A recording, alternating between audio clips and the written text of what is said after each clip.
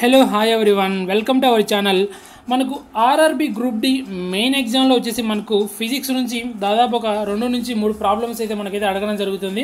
అయితే మనకు వచ్చేసి బలం నుంచి కూడా మనకు ఫోర్స్ ఈ టాపిక్ నుంచి కూడా మనకైతే ప్రాబ్లమ్స్ అయితే మనకు మెయిన్ ఎగ్జామ్లో అయితే మ్యాక్సిమం అయితే వన్ మార్క్ అయితే అడుగుతున్నారు.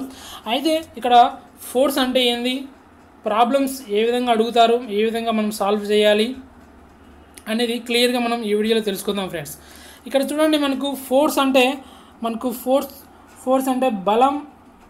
ఫోర్స్ను తెలుగులో వచ్చేసి మనం బలం అంటారు. బలం is equal to mass into acceleration mass into acceleration mass అంటే ద్రవ్యరాశి యాక్సలరేషన్ అంటే త్వరణం.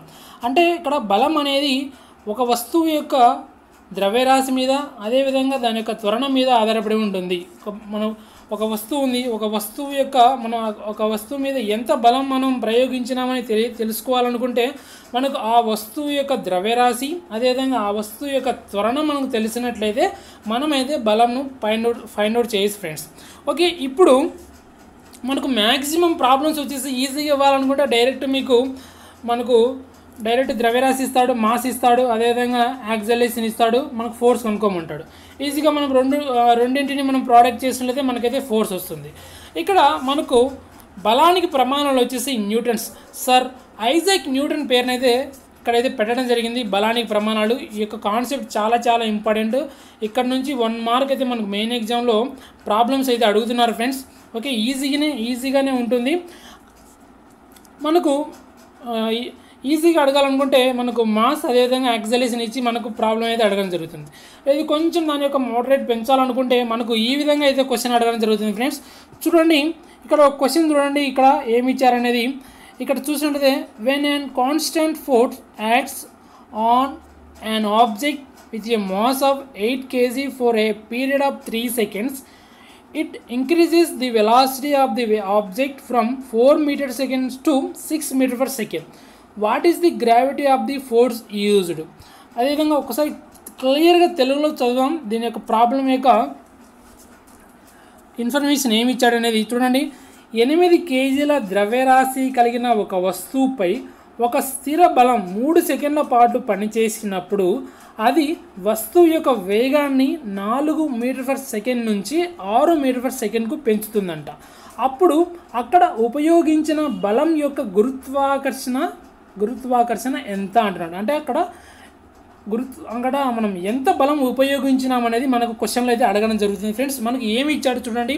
మనకు ఇక్కడ ద్రవ్యరాశి ఇచ్చాడు. అదేవిధంగా మనకు యాక్సలేషన్ కనుక్కోవడానికి ఇన్ఫర్మేషన్ ఇచ్చాడు ఫ్రెండ్స్. ఓకే ఇక్కడ మనకు ఫస్ట్ ఆఫ్ ఆల్ వచ్చేసి మనకు యాక్సలేషన్ అంటే తెలియాలి ఫస్ట్. మనకు చూడండి యాక్సలరేషన్. మనకు బలం కనుక్కోవాలంటే డెఫినెట్గా మనకు యాక్సలేషన్ గురించి తెలిసి ఉండాలి ఫ్రెండ్స్. మనకు యాక్సలరేషన్ అంటే ఏంటంటే మనకు త్వరణం. చూడండి త్వరణం. త్వరణం అంటే ఏంది?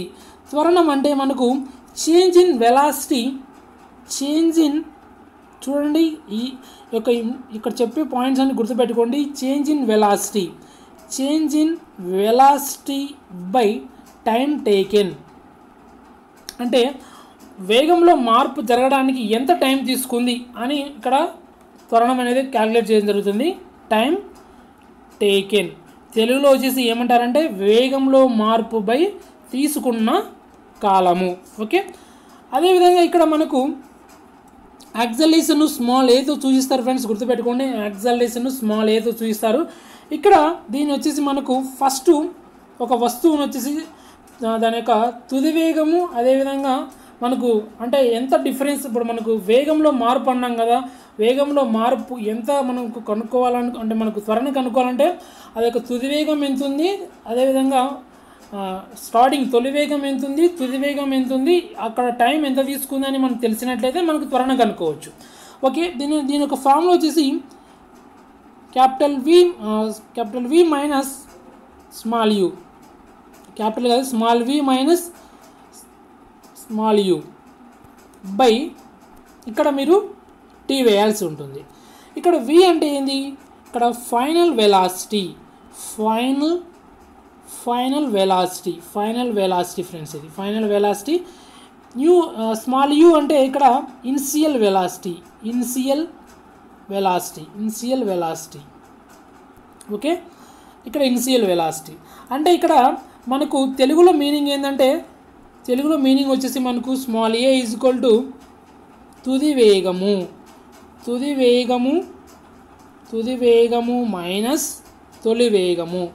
ఓకే? తొలి వేగము బై కాలము. ఓకే? ఇది వచ్చేసి మనకు యాంగ్జైలేషన్ కనుక్కోవడానికి ఫార్ములా. ఓకే? ఇప్పుడు ఒక డయాగ్రామ్ గమనించండి. ఇది వచ్చేసి ఒక డయాగ్రామ్ అనుకోండి. మీకు ఆల్రెడీ చెప్పాను మనకు బలం కనుక్కోవాలనుకుంటే ఒక వస్తువు యొక్క ద్రవ్యరాశి దాని యొక్క త్వరణం మీద ఆధారపడి ఉంటుంది ఫ్రెండ్స్. ఓకే? ఈ- యొక్క వస్తువు ఉంది. ఈ యొక్క వస్తువు మనకు ద్రవ్యరాశి అదేవిధంగా మనకు త్వరణం తెలిసినట్లయితే మనం ఈజీగా ఫోర్స్ అని కనుక్కోవచ్చు. ఓకే? ఇప్పుడు మనకు ఇది వచ్చేసి ఒక ఎనిమిది కేజీలు ఉందనుకుందాం. మనకు ఇచ్చినటువంటి ప్రాబ్లం బేస్ చేసుకొని నేను చెప్తున్నాను. ఇది వచ్చేసి ఒక ఎనిమిది కేజీలు ఉన్నటువంటి ఒక వస్తువు ద్రవ్యరాశి. ఇప్పుడు ఈ వస్తువును నేను ఏం చేస్తున్నాను? ఫస్ట్ వచ్చేసి దీని యొక్క తొలి వేగం ఎంత ఉంది zero.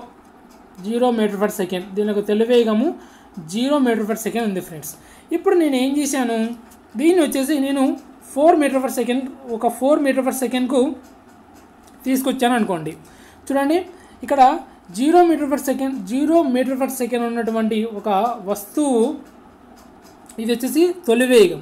దీన్ని నేను ఒక వేగానికి అంటే వేగంలోకి తీసుకొని వచ్చాను. దీనికి ఇక్కడ తొలి వేగంలో ఉండేదాన్ని నేను ఏం చేశానంటే ఇక్కడ పుష్ చేసి ఇట్లా ముందుకు నేను ఫోర్స్ చేయడం వల్ల అక్కడ దానికి టూ మీటర్ పర్ సెకండ్కి వచ్చింది అనుకోండి ఓకే? ఒక టూ సెకండ్స్లో ఒక వన్ సెకండ్ అనుకోండి. ఒక వన్ సెకండ్ టైం తీసుకుందాం. ఒక వన్ సెకండ్లో ఇది వచ్చేసి నేను ఫోర్స్ అప్లై చేయడం వల్ల అది వచ్చేసి zero zero meter per second నుంచి టూ మీటర్ పర్ సెకండ్కి వచ్చింది. వన్ సెకండ్లో.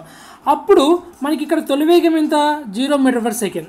తుది వేగం ఎంత టూ మీటర్ పర్ సెకండ్ ఎంత టైంలో ఎంత టైంలో అక్కడ వేరియేషన్ వచ్చింది? అంటే వేగంలో మార్పు వచ్చిందంటే వన్ సెకండ్ అప్పుడు మనకి ఇచ్చినటువంటి ప్రాబ్లం మనం త్వరణం యొక్క ఫామ్లో యూజ్ చేసి తొలి వేగం ఎంత జీరో తుది తు- తుది వేగం ఎంత టూ తొలి వేగం ఎంత జీరో ఎంత టైంలో మనకు అక్కడ టూ మీటర్ పర్ సెకండ్ మారిందంటే వన్ సెకండ్ అప్పుడు మనకు ఇక్కడ పైన ఏముంది?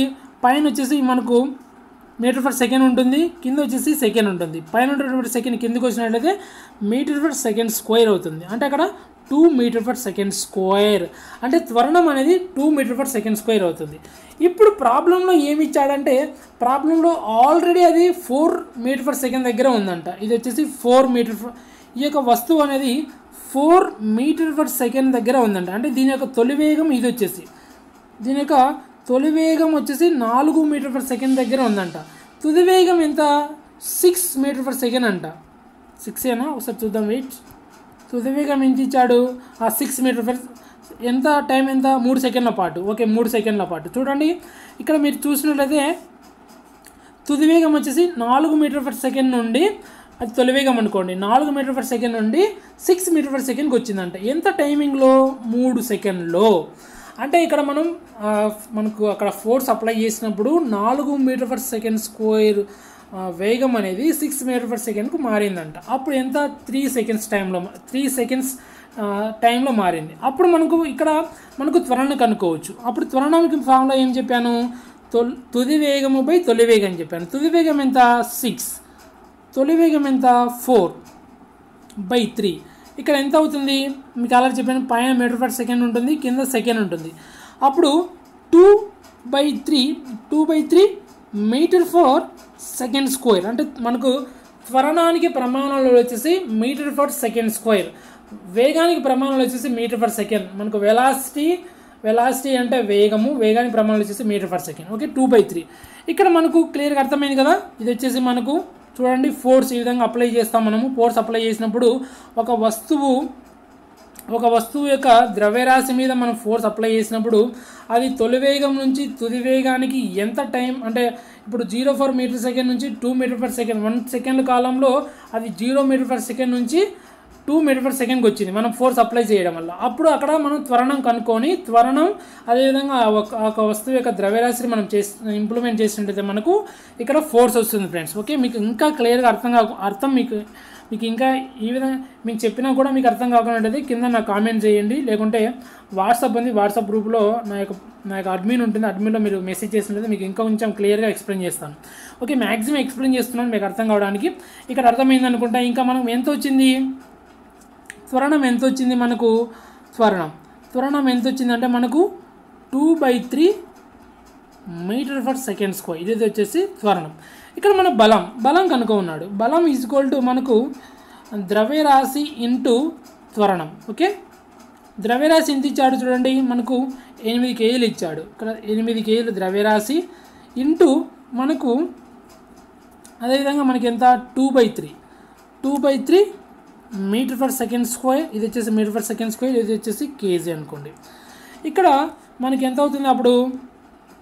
ఓవరాల్గా చూడండి మనకు ఇక్కడ పదహారు బై మూడు అవుతుంది. పదహారు బై మూడు. మనం చేసినట్లయితే ఫైవ్ పాయింట్ త్రీ త్రీ వస్తుంది. Five point three three kg into kg into metre per second square. ఇక్కడ చూడండి one newton is equal to one newton is equal to one kg one kg into metre per second square friends ఇక్కడ. ఇక్కడ kg into metre per second దగ్గర మనం newton అయితే వేయచ్చు. అప్పుడు మనకు ఆన్సర్ ఏమవుతుంది? Five point three three newtons అవుతుంది ఫ్రెండ్స్. ఈ విధంగా మనమైతే అక్కడ ఎంత బలం అనేది ఉపయోగించబడిందని మనమైతే ప్రాబ్లమ్స్ అయితే సాల్వ్ చేయాల్సి ఉంటుంది. చూడండి ఫస్ట్ ఆఫ్ ఆల్ మనం బలం కనుక్కోవాలంటే ఫస్ట్ వచ్చేసి మనం చూడాల్సింది ఫస్ట్. ద్రవ్యరాశి చూడాలి. అదేవిధంగా అక్కడ మనకు డైరెక్ట్ యాక్సలేషన్ ఇస్తే పర్లేదు. ఇక్కడ మనకు డైరెక్ట్ యాక్సలేషన్ ఇవ్వలేదు. చూడండి మనకు డైరెక్ట్ యాక్సలేషన్ ఇన్ కేసు ఇక్కడ డైరెక్ట్ యాక్సలేషన్ ఇచ్చినట్లయితే మనకు రెండింటిని ప్రోడక్ట్ చేసినట్లయితే మనకు బలం కనుక్కోవచ్చు ఫ్రెండ్స్ అక్కడ ఎంత బలం ఉపయోగి ఉపయోగించమని కనుక్కోవచ్చు. కానీ ఇక్కడ ఏం చేస్తున్నాడు? ఒక వస్తువు అనేది దానికి ఒక వస్తువు ద్రవ్యరాశి ఇచ్చాడు. అక్కడ ఎంత త్వరణం ఇవ్వలేదు. కానీ త్వరణాన్ని కనుక్కోవడానికి మనకు ఇన్ఫర్మేషన్ ఇస్తాడు. అంటే ఒక వస్తువును జీరో అంటే తొలి వేగం నుంచి తుది వేగానికి ఒక సర్టెన్ టైంలో మనం తీసుకుని రావడం జరుగుతుంది. ఇప్పుడు ఫర్ ఎగ్జాంపుల్ మనము ఒక ద్ర- ఒక ఎనిమిది కేజీల ద్రవ్యరాశి గల ఒక వస్తువు ఎనిమిది కేజీలు ద్రవ్యరాశి గల ఒక వస్తువు అనేది మనం ఫోర్స్ అప్లై చేసినప్పుడు అది జీరో మీటర్ పర్ సెకండ్ నుంచి ఒక సెకండ్ కాలంలో జీరో మీటర్ పర్ సెకండ్ నుంచి టూ మీటర్ పర్ సెకండ్కి వస్తుంది. అప్పుడు అక్కడ త్వరణం ఎంత అవుతుంది అంటే మనకు two metre per second square అవుతుంది. అంటే ఈ విధంగా త్వరణం కనుక్కొని ఆ ఒక వస్తువు ద్రవ్యరాశి ఇంటూ త్వరణం ఇంటూ ప్రోడక్ట్ చేసినట్లయితే మనకు అక్కడ ఉపయోగించినటువంటి బలం వస్తుంది ఫ్రెండ్స్ ఈ విధముగా మనం బలం యొక్క ప్రాబ్లమ్స్ సాల్వ్ చేయాల్సి ఉంటుంది. ఓకే అదేవిధంగా మనకు ఇక్కడ వచ్చేసి మనకు మనకు యాంగిల్ కూడా ఉంటుంది. యాంగిల్కి వచ్చి యాంగిల్ వచ్చినప్పుడు యాంగిల్ మనకి యాంగిల్ బేస్డ్ కూడా ఉంటాయి. మనకు F into F is to mass into acceleration కొన్ని యాంగిల్ బేస్డ్ ప్రాబ్లమ్స్ కూడా ఉంటాయి. మ్యాక్సిమం అయితే ఎక్కువ ఈ విధంగా అడుగుతున్నారు. ఓకే ఇది వచ్చేసి మనకు బలం బలం గురించి ప్రాబ్లమ్స్ ఏ విధంగా సాల్వ్ చేయాలనేది ఒక సింపుల్ ఒక ప్రాబ్లం తీసుకొని ఎక్స్ప్లెయిన్ చేశాను. Okay thank you for everyone